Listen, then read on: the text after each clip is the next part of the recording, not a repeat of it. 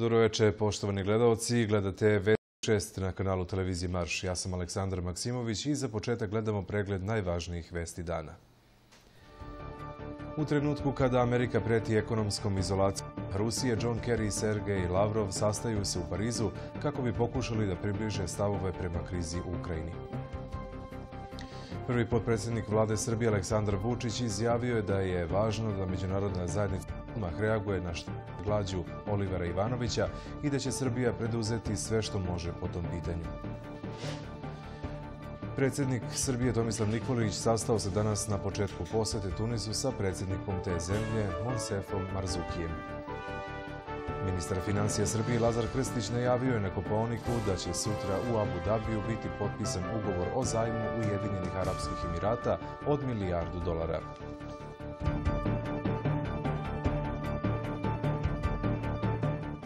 Ovo su vesti Marša. Državni sekretar Sjedinjenih američkih država John Kerry i ruski ministar spoljnih poslova Sergej Lavrov danas bi trebalo da se sastanu u Parizu u trenutku kada Washington povećava pritisak na Moskvu, koju optužuju da traži opravdanje za invaziju na Ukrajinu. OEPS poslao 35 vojnih posmatrača u Ukrajinu na zahtev vlasti u Kijevu. Kijevski mediji javljaju da posmatračima nije dozvoljen ulazak na Krim. Evropska komisija ponudila je Ukrajini paket pomoći vredan 11 milijardi evra, rekao je predsjednik Evropske komisije Jose Manuel Barroso. Iako je situacija na poluostrvu Krim i dalje napeta, nije bilo incidenata tokom noći. Uoči susreta u Parizu, francuski ministar spoljnih poslova Laurent Fabius rekao je da svetske sile moraju da se potrude i ponovo uspostave dijalog u krizi u Ukrajini. Uprko znatnim razlikama u stavovima, obe strane su pokazale spremnost da započnu dijalog. Dvojica zvaničnika sastaće se danas posle podne tokom međunarodne konferencije o Libanu, koja se održava u Jelisejskoj palati. Tema razgovora biće između ostalog ideja nemačke kancelarke Angele Merkel o osnivanju međunarodne kontakt grupe za Ukrajinu. Barack Obama i Merkel Merkelova ocenili su u telefonskom razgovoru da je za smirivanje situacije u Ukrajini važan dolazak međunarodnih posmatrača, saopštio je izvor iz Bele kuće. Tokom popodneva predviđen je sastanak Johna Kerrya sa britanskim kolegom Williamom Haigom i vršiocem dužnosti ministra spoljnih poslova Ukrajine Andrijem Dešicijem, koji u poslednjem trenutku pozvan u Pariz. Ministarstvo odbrane Ukrajine saopštilo je da su ruske snage delimično okupirale dve raketne baze na Krimu. Skladišta raketa i dalje su pod ukrajinskom kontrolom, javlja AFP. Moskva je snažno osudila nedavnu promenu vlasti u Kijevu posle više mesečnih uličnih protesta i nereda u kojima je poginulo više od 90 ljudi. A dobrovoljci iz Srbije koji su se predstavili kao pripadnici Četničkog pokreta stigli su u Sevastopolj, javlja Itartas. Mi predstavljamo Četnički pokret i nas možete uporediti sa kozacima u Rusiji, izjavili su. Naš cilj je da u ime srpskog naroda damo podršku ruskom narodu. U ovom trenutku je ovde sve isto kao nekada u Srbiji. Zapad i Evropa finansiraju opoziciju i one govore da hoće u Evropu, a sve je to laž, rekao je Milutin Mališić, koji se predstavio kao komandant Četničke garde Vukovi, navodi ruska agencija Itartas. Na preskonferenciji dobrovoljci su još rekli da ne očekuju masovni dolazak iz Srbije jer smo mi mali narod, ali i da gaje veliku ljubav prema Rusiji. U Sevastopolje, kako navodi Itartas, stiglo pet dobrovoljaca iz Srbije i oni će, prema kozačkim izvorima, biti raspoređeni na jednom od checkpointa na ulasku u grad. Lider građanske inicijative SDP i kandidat za gradonačelnika Severne Kosovske Mitrovice Oliver Ivanović ocenio je da se protiv njega na Kosovu vodi politički postupak. U pismu Ivanovića koje je medijima prosledio SDP navodi se da bi taj potpuno besmisleni postupak pred bilo kojim pravnom institucijom bio unapred osuđen na neuspeh. Neuspeha su čini se svesni i u tužilaštvu, ali je očigledna namera da se na taj način iscrpljujem, obeshrabrim i na kraju slomim. Ocenio je Ivanović, koji je utorak počeo štrajk glađu i dodao da drugačije ne može da objasni uporno odbijanje zahteva da se iz Prištine premesti u pritvor u Kosovsku Mitrovicu. Ivanović je naveo da je počeo štrajk glađu jer mu je, pored pravnih, ljudskih i ekonomskih razloga, odbijen zahtev da bude prebačen u pritvor u Kosovsku Mitrovicu. Potpredsjednik vlade Srbije Aleksandar Vučić izjavio je u sredu da je važno da međunarodna zajednica odmah reaguje na štrajk glađu Olivera Ivanovića i da će Srbija preduzeti sve što može.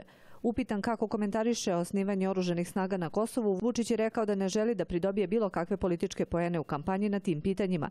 Saopštit ću Ketri Nešton čim je budem video, ali očigledno da postoje mnoge stvari koje se dešavaju, a nisu u skladu sa bilo kakvim dogovorom i razgovorima koje smo vodili, dodao je Vučić. Porodice petorice Srba uhapšenih u jučerašnjoj akciji kosovske policije još nemaju nikakvih informacija o tome gde se oni nalaze, niti zašto ih terete. Nekoliko stotina Srba okupilo se jutros zahtevajući da se oslobode petorica njihovih sunarodnika. U akciji specijalnih jedinica Kosovske policije utorak u Štrpcu lišeni su slobode pripadnici lokalne policije Dejan Stevanović, Radiša Jovanović, Dragan Marković, Dejan Jorgović i radnik u šumskom gazdinstvu Dragutin Ivanović, kojima je određeno zadržavanje do 48 sati. Predsjednik privremenog opštinskog organa u Štrpcu Ivan Ređić kaže za Tanjuk da je situacija u tom gradu mirna, ali da su građani zaplašeni zbog svega što se dogodilo. U danas izdatom saopštenju kosovska policija potvrdila je da su utorak u Štrpcu uhapšena petorica Srba i da su svi oni zadržani navodeći da je u akciji zaplenjena i određena količina oružja. Predsjednik Srbije Tomislav Nikolić sastao se danas na početku posete Tunisu sa predsjednikom te zemlje Monsefom Marzukijem. Marzuki je dočekao Nikolića na aerodromu uz najviše državne počasti. Oni su potom nastavili razgovore u Palati Kartaže u prisustvu delegacije dve države.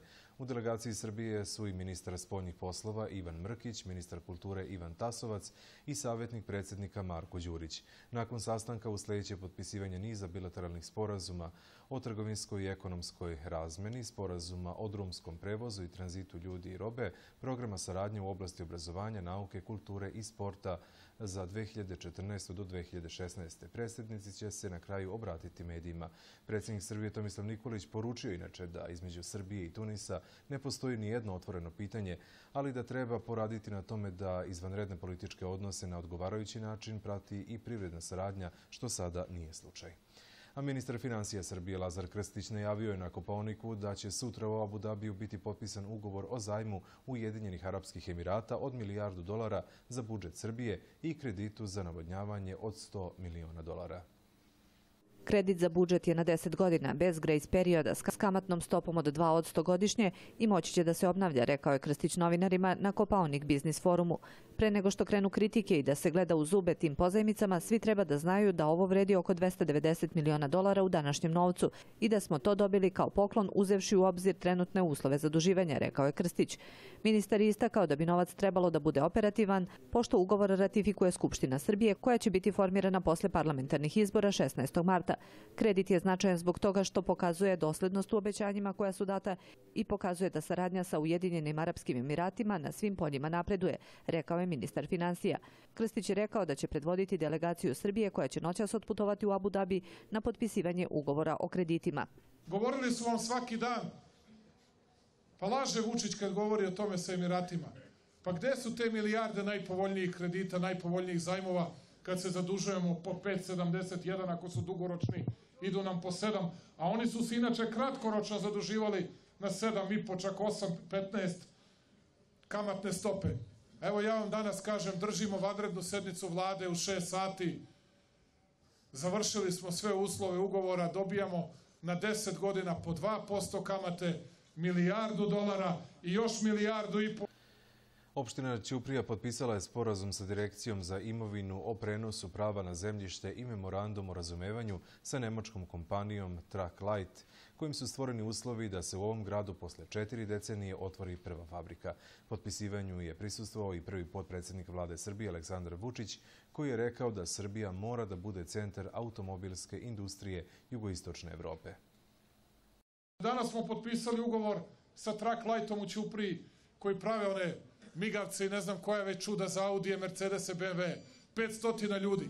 500 ljudi u Ćupriju koji 41 godinu nijedan proizvodni pogon, nijedna fabrika nije napravljena. Posle 41 godine smo to uspeli da uradimo i da napravimo.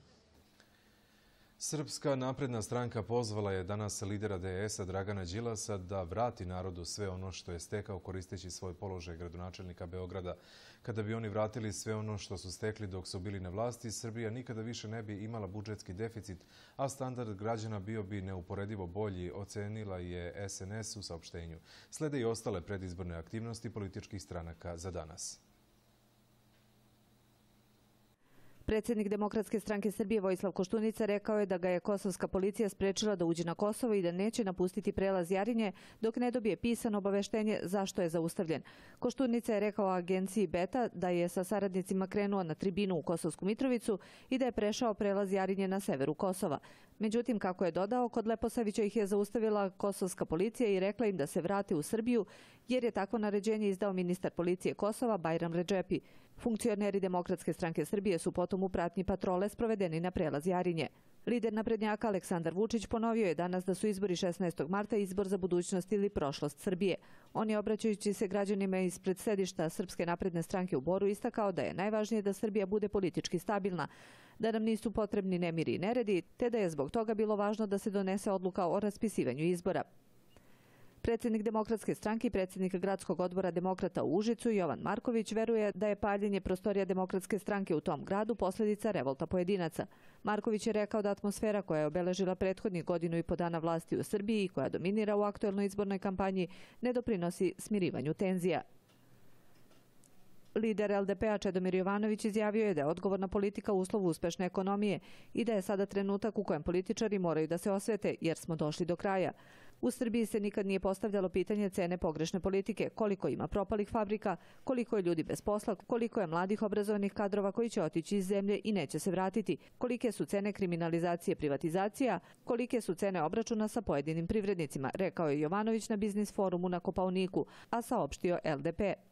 Predsjednik Nove demokratske stranke Boris Tadić rekao je da su žene u srpskom društvu i dalje neravnopravne i naglasio da je iskorišćavanje ženskog potencijala preduslov civilizovanog i ekonomskog napretka.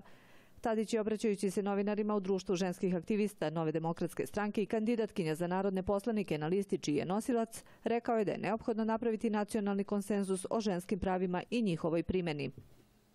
Ostanite uz naše vesti, u nastavku emisije su i sljedeće informacije. Sa Borisom Tadićem nećemo sarađivati ako je njegov plan da vodi Srbiju kao prethodne godina, izjavio u Valjevu lider LDP-a Čedomir Jovanović. Policijska uprava Valjevo reorganizovala kriminalističku službu. Socijalistička partija Srbije u okviru svoje predizborne kampanje organizovala tribinu Tešnjar Filmski grad. Dve pice i dve kole, 1200 dinara. Kafe pizzerija Bolero.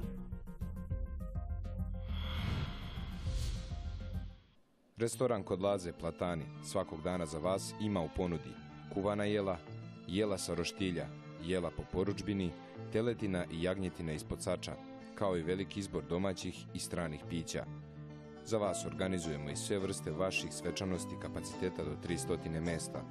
Telefoni 060 6477 436 060 64 77 470 014 35 22 991 Novo u Valjevu. Torte i kolači. Veliki izbor sitnih kolača preko 30 vrsta. Rođendanske, mladenačke i ukresne torte. Po vašoj želji ili iz našeg kataloga. Veliki izbor kremastih poslastica. Čarolija slatkog ukusa. Slatko srce. Ulici Vuka Karadžića, broj 40. Željni ste srpske domaće kuhinje, mirnog razgovora u toplom ambijentu ili bašti van gradske buke. Restoran Kuća ispunjava sva vaša očekivanja. Posjeduje baštu zelenilom zaštićenu od gradske buke i smoga. U prizemlju kuće se nalazi aperitiv bar, a u potkrovlju je restoran. U večernjim časovima svira muzika na uvce. Na meniju je srpska domaća kuhinja, prvoklasno meso, ribe, morske i rečne, divljač, a poznati smo po odličnom vrštilju i tradicionalnom doručku. Provedite prijatne trenutke u ambijentu restorana Kuća. Zalagaonica Bard Gold. Dajemo novčane pozemice uz minimalnu kamatnu stopu od samo 1%. U zalog primamo zlato, srebro, antikvitete, skulpture, antikvarne knjige, umetnička dela, automobile, nekretnine, tehniku. Unovčavamo čekove i realizujemo ih za 30 dana uz mogućnost produženja tog roka. Vršimo otkup zlata, lomljenog zlata, dukata, plaćamo do 5000 dinara. Takođe vršimo i otkup srebra. Nalazimo se u ulici Karadžođevoj 169. Naše radno vreme je od 9 do 17 časova svim danima, osim nedelje. Kontakt telefon 069 55 33 539. Zalagaonica Bard Gold. Dve pice i dve kole, 1200 dinara. Kafe pizzerija Bolero.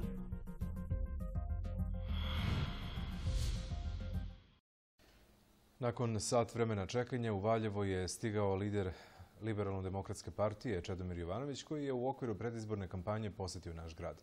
Ovom prilikom Jovanović je istakao da sa Borisom Tadićem neće moći da sarađuje ako je njegov plan da vodi Srbiju kao prethodnih godina. Kao i sa Tadićem, LDP neće sarađivati ni sa SPS-om, to jest Ivicom Dačićem. Sa Dačićem ne mogu i ne želim. Ne samo zbog 90-ih, nego i zbog grešaka koje je napravio u Tadićevoj vladi i onog, zbog onog što je učinio u poslednje dve godine, zbog uništene galenike, uništenog Dunav osiguranja, jednog neodgovornog odnosa prema ključnim temama u našoj Srbiji. Ideje da se ljudi smeju plašiti reformama, bez reformima nam nema opstanka. Prava koje je dao sebi svojoj koaliciji, predstavljajući se jedinim borcima za socijalnu pravdu u zemlji koji je ostavio pola miliona ljudi bez posla svojom politikom i sa druge strane u zagrljaju sa Krakobabićem koji nam ostavlja prazne penzione fondove kad je sa Miloševićem i kad je sa, sa Tadićem. Jovanović je istakao da ne želi da se menja, nego da se moraju menjati oni koji žele sa njima da rade. Kao i cijela Srbija, tako i Valjevo plaća visoku cenu za pogrešnu politiku. Na izborima se pojavljuju ljudi koji su politiku vodili uništavajući zemlju, oni koji su propustili šansu da svoju zemlju poprave kada su podršku dobili umesto onih koji su je uništili, kaže Jovanović. I tu je bio, tu je bio LDP sa svojim kandidatima, onima koji su zapamćeni u ovom vašem gradu kao jedini koji su nešto konkretno promenili, stvorili pretpostavke da se Valjevo razvija. Mene ne interesuju odnosi unutar drugih koalicija, interesuju me građani Valjeva. Ja sam to rekao našim, našim, našim, našim ljudima ovde u Valjevu kada su me pozvali i pitali šta da radimo. Nemate pravo da, da birate. Evo vam ga ovde Mišić, pa budite srećni, ne morate da ginete. Radite za svoj grad, ne interesuje me da li se slažete sa tim ljudima ili ne. Ja ne znam šta će drugo, ko će drugi vama da, da pomogne osim vas koji ovde živite. Jovanović je istakao da će LDP uvek prvo misliti na svoju obavezu prema državi, a potom na sebe. A to je ono što se desilo u poslednjih nekoliko dana u Valjevu. Na izbornoj listi LDP-a pod rednim brojem 4 za republičke poslanike nalazi se Žarko Kovač i Radmila Novaković iz Valjeva. Na duhoviti i zabavan način, Bora Đorđević, frontmen grupe Riblja Čorba, boravio je danas u Lazarevcu u sklopu kampanje Demokratske stranke Srbije. On je rekao tom prilikom da očekuje da ova stranka osvoji dvocifren rezultat. Pa opet iskreno se nadam da ćemo zabeležiti dvocifreni rezultat. Nismo mi tako loši, iako nam svašta prišivaju. U svakom slučaju jedinstveni smo po svojim zalaganjima. Zato se to kod Srba ne ide. Otprilike kako i Srbi rezonuju prilikom glasanja. Umesto da ih za pljačku optuže, da ih zbog izdaje osude na robiju, Srbi glasaju za bagru i lopuže, pa govna opet izbore dobiju.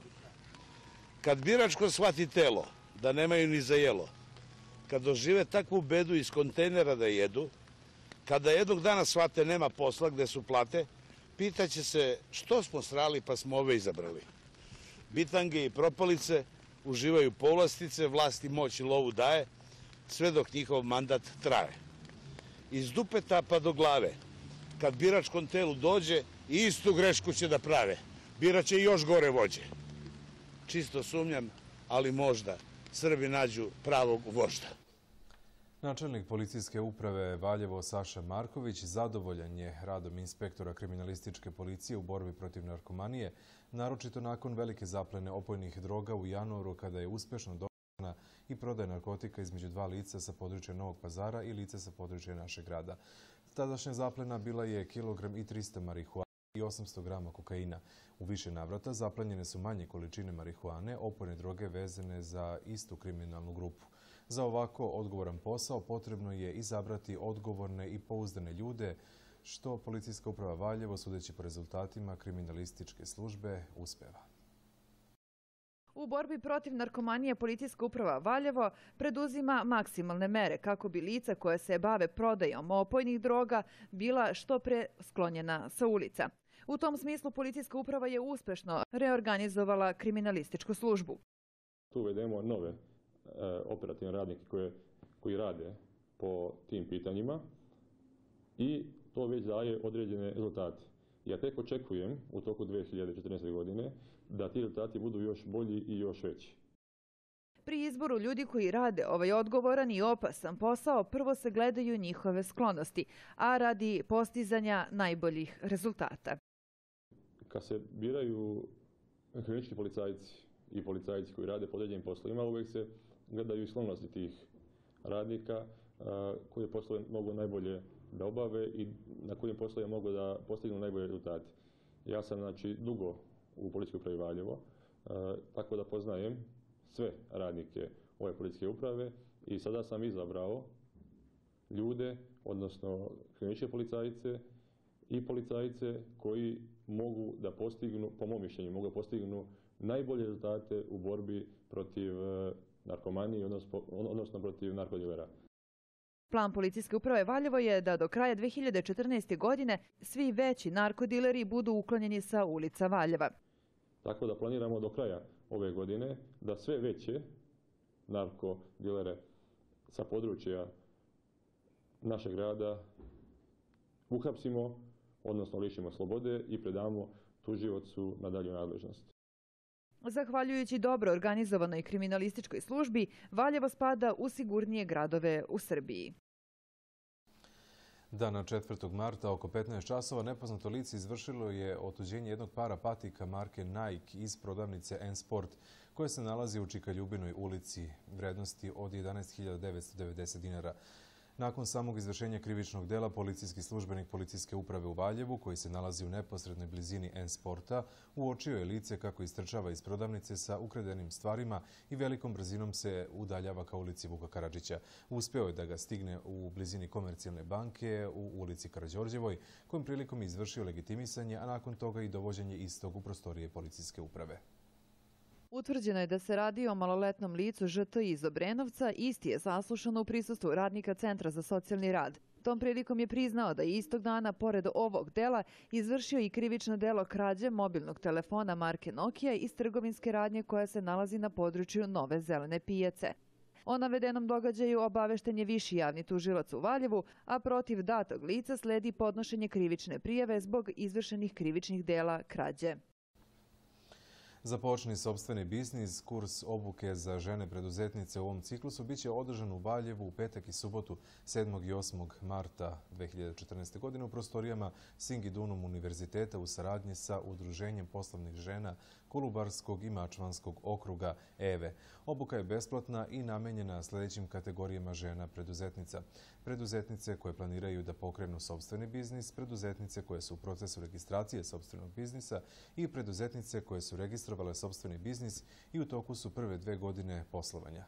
Ovo je druga po redu obuka, ali ukoliko ima zainteresovanih žena, one svakako mogu prisustovati obuci. Socijalistička partija Srbije je u okviru svoje predizborne kampanje organizovala tribinu Tešnjar Filmski grad. Na tribini je govorio poslanik ove stranke Srđan Dragojević, režiser, scenarista i producent. U prepunom pubu 23 u Tešnjaru Dragojević je poredeći promociju filma sa političkom kampanjom, rekao da je danas vreme snalaženja i pronalaska kreativnih načina da se ubedi publika da pogleda film, jer novca za premijeru iste kao i za kampanju nema. Dragojević je, boraveći u Valjevu, rekao da će sačekati da se završe izbori da bi krenuli u novu kampanju promocije njegovog novog filma pod nazivom Atomski s desna. Osim što nemate od države XY novca za kampanju, obično je to nula. Sačekat ćemo da se završi izbori i onda ćemo krenuti kampanju sa puno kreativnosti i nula para. Ali nadam se da će ovaj, glas o mom novom filmu doći do ljudi u Srbiji. Nakon 2000. godine u fokus je došla jedna opasna teza, a to je da kulturu treba prepustiti tržištu. Tržište ne samo da nije obezbeđeno, već je i uništeno, naglašava Dragojević. Ne samo da su zaboravili da e, obezbede tržište za srpsku kulturu, nego su potpuno uništili i ono malo tržište što je imalo. Znači, e, Srbija je tokom 90-ih za vreme rata i sankcija imala e, tri puta više bioskopa nego što ima danas.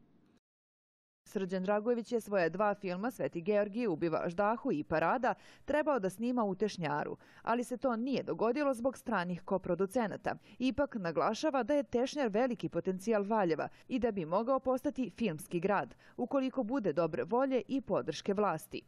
Makedonci su bili koproducenti i onda smo snimali u Bitolj. Bitolj je već godinama postao filmski grad. Čaršije u Bitolju je mesto gde se snimaju non stop uh, turski filmovi, turske serije i razni filmovi iz čitave Evrope. Oni su sredili tu staru čaršiju i prosto čitav grad uh, delimično zavisi i od svoje filmske industrije.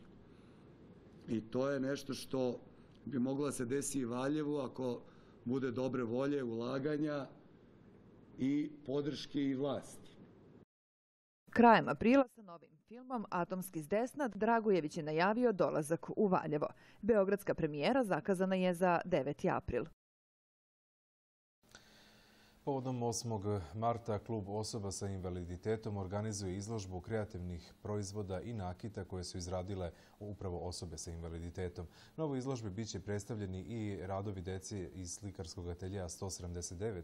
Cilj je da se pokaže istakne kreativnost i rad osoba sa invaliditetom, a i dece, a samim tim i njihova uključenost u društvenu zajednicu. Otvaranje izložbe 6. marta sa početkom u 13 časova i 30 minuta u klubu osoba sa invaliditetom u Birčaninovoj ulici broj 104. A sutra u 19 časova u Galeriji Narodnog muzeja biće otvorena izložba fotografija Staro i nestalo voće Srbije autorke Aleksandre Savić iz Prirodnjačkog muzeja u Beogradu. Izložba će biti otvorena do 2. aprila. Na izložbi Staro i nestalo voće Srbije biće predstavljene 64 sorte autohtonog i domaćeg voća, među kojima su jabuke, petrovača, pamuklija, ružica, šarunka, funtoča, masnjača, devojačka crvenka, krstovača, šimširka, ovči nos, slatkara, prespanka, tetovka, kožara, budimka, đulica, rebrača, senabija, kolačara i druge. Kruške, jagodarka, vidovača i linjača, mirisavka, lubeničarka, sijerak, medunak, šljive crvena ranka, požegača, belošljiva, okruglica, crveni piskavac, gorčivka, goveđača, turgulja. Jedan deo izložbe posvećen je upotrebi jabuke i šljive u narodnim običajima i tradiciji kod Srba, voćki kao svetom drvetu, zapisu kao i izvodu iz arhiva starih i redkih knjiga iz oblasti vođarstva koje datiraju iz 19. veka. Na izložbi će biti predstavljeni sveži plodovi voća i herbarski materijal zbirke voća Prirodnjačkog muzeja, umetnički crteži plodova, autorske fotografije voća sa motivima sela – etnološki eksponati, upotrebnih predmeta vezanih za voće, rakiju i sl. Izložbu prati publikacija Staro i nestalo voće Srbije autor Aleksandre Savić, u kojoj je dat ilustrovan prikaz autohtonog voća Srbije sa autentičnim fotografijama srpskog sela. Cilj izložbe je da se predstavi bogatstvo i raznovrsnost velikog broja sorti autohtonog voća naših prostora koje je potrebno istražiti, zabeležiti, ali i sačuvati, kao i promocija ruralne baštine i afirmacije tradicionalnih vrednosti koje su od značaja za našu sredinu i njeno pamćenje. Srbija je izuzetno bogata velikim brojem starih, autohtonih sorti voća najraznovrsnijih oblika, boja, ukusa i mirisa, koje su se gajile na našem području stotinama godina unazad, a koje danas nestaju bez povratka gotovo nezabeležene.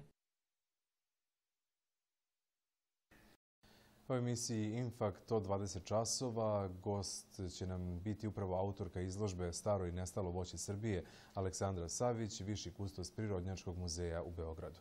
A vi ostanite i dalje uz nas jer sledi blok sportskih vesti.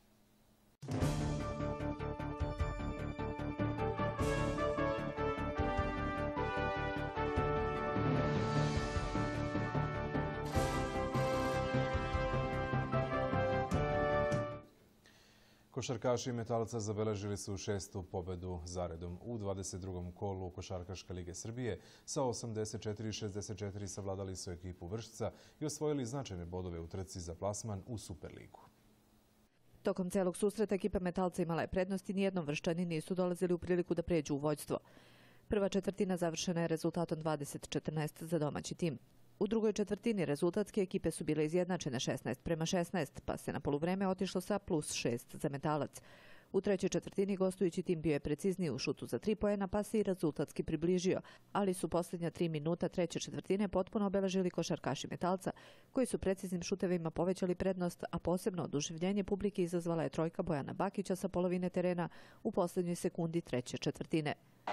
Vujković da prođe, Novak ne može, mora se šutirati, da vidimo, može! Bojan Bakić, za kakav kraj treće četvrtine! U četvrtoj četvrtini domaći košarkaši povećavali su prednost iz minuta u minut, pa je ona u jednom trenutku bila i plus 23. Ovo nam je vrlo bitno da održimo domaći teren nepobedivim. Uspeli smo sve četiri četvrtine da, da, da pobedimo, osim druge koja je, koja je bila nerešeno. Međutim, ovaj, znali smo da je ekipa Vršca izuzetno talentovana ekipa i ukoliko je dozvolimo, vrlo lako može da iskažnjava ovaj, tu našu lošu igru. Bili smo svesni toga jako ušli u utakmicu što pokazuje broj primjenih poena, odnosno odbrana i na kraju smo ritmom uspeli da ih, da ih slomimo i da, da zabeležimo novu pobedu. E, ništa čestitao bi sa igračima na dobroj igri, a ekipi Vršca na fer i korektnoj borbi poželeo im sreću do kraja prvenstva. Inače, zadovoljan sam pobedom, šesta u nizu. Sad smo zaista baš na dobrom putu za Superligu, ali nema opuštanja. Sljedeći je Tamiš, probat ćemo, iako Tamiš igra izvaredno na domaćem terenu, probat ćemo i odande da izvučemo bodove da bi što pre i matematički obezbedili Superligu. Najefikasniji u domaćem sastavu bio je Bojan Bakić sa 19 poena. Čakarević je postigao 10, a Kljajević 9 poena. U ekipi Vršca Novak je postigao 12, a Kasabašić 11 poena. Ostale utakmice 22. kola igraju se danas. U 23. kolu Košarkaške lige Srbije koje se igra narednog vikenda, Metalac će gostovati u Pančevu ekipi Tamiša. Ženska streljačka reprezentacija Srbije osvojila je u sredu zlatnu medalju u ekipnoj konkurenciji u gađanju vazdušnom puškom na Evropskom prvenstvu u Moskvi i oborila evropski rekord. Srbija je do zlatne medalje došla s rezultatom od 1247,1 kruga, a nastupile su Ivana Maksimović, Andreja Arsović i Dragana Todorović. Srebrnu medalju osvojila je Nemačka, a bronzanu Italija. Andreja Arsović i Ivana Maksimović osvojile su danas srebrnu, odnosno bronzanu medalju u gađanju vazdušnom puškom na 10 metara.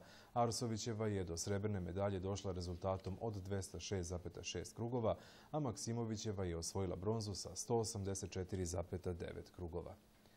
Futbolska reprezentacija Srbije igra meč protiv Republike Irske koji samo potpuno neupućenima deluje manje važno zbog činjenice da je prijateljski. Ova utakmica, osim što će poslužiti kao prijemni ispit za Ljubinka Drulovića, odpočinje novi ciklu za omiljeni srpski sportski kolektiv od koga svi očekuju da nam donese mnogo više radosti nego nekoliko prethodnih. Orlovi su pojačani sa jednim debitantom i jednim povratnikom. Naime, Nemanja Gudelj, zadnji vezni, e, vezni holandskog Alkmara, nakon odbijanja da zaigra za Bosnu i Hercegovinu, dobio priliku da zaigra za najbolji tim zemlje u kojoj je rođen.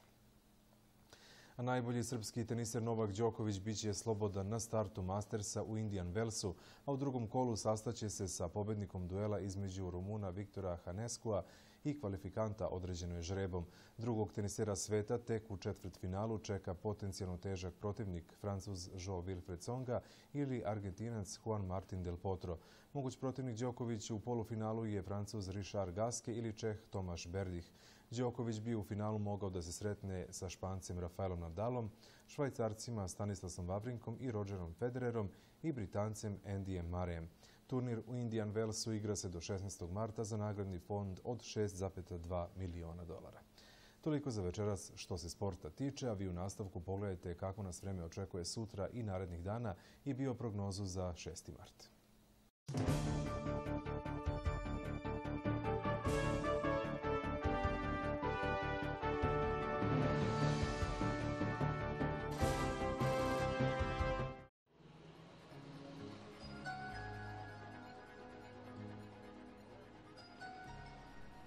Prema prognozi Hidrometeorološkog zavoda, na oblačenje sa kišama na planinama sa snegom koje će u četvrtak ujutru zahvatiti istočne predele Srbije, tokom dana proširit će se i na ostale delove zemlje.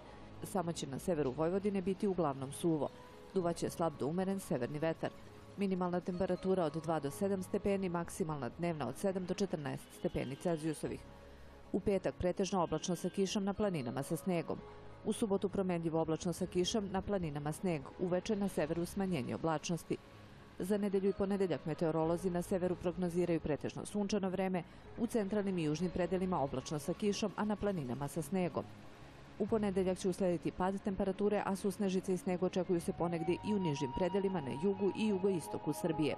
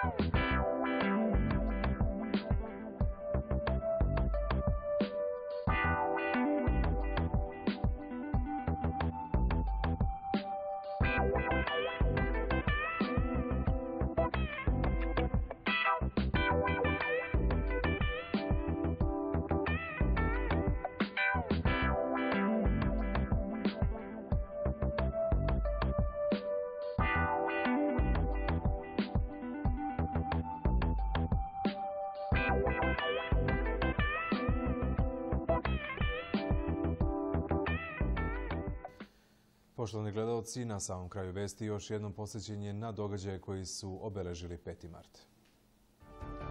U trenutku kada Amerika preti ekonomskom izolacijom Rusije, John Kerry i Sergej Lavrov sastaju se u Parizu kako bi pokušali da približe stavove prema krizi u Ukrajini. Prvi potpredsjednik vlade Srbije Aleksandar Vučić izjavio da je važno da međunarodna zajednica odmah reaguje na štrajk glađu Olivera Ivanovića i da će Srbija preduzeti sve što može po tom pitanju. Predsjednik Srbije Tomislav Nikolić sastao se danas na početku posjete Tunisu sa predsjednikom te zemlje Monsefom Mazuki.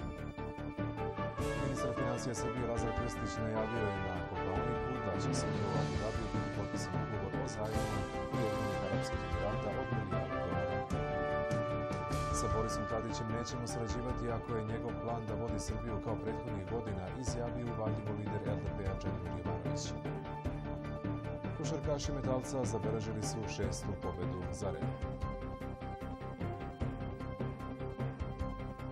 I sutra i narednih dana oblačno sa kišom.